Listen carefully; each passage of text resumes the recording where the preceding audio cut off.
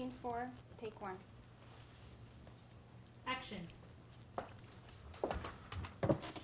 Hello.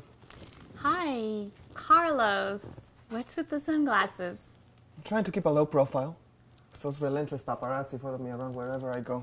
Are you someone famous? You don't know who I am. Oh, sorry. I'm an international superstar, Carlos Valdez. My latest Spanish album sold millions. Millions! Oh, really? Yes, really. I'm only here on vacation for a few months, just to get away from all the madness, because fans are always after me for autographs, and I hope they haven't followed me here, too. I think you're safe here. Yeah.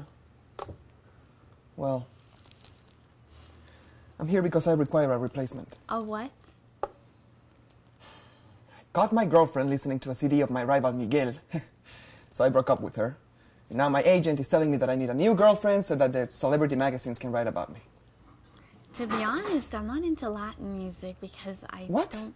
Um, Then I reject you. I refuse to be with anyone who doesn't like my music. mm, yeah. Jesus.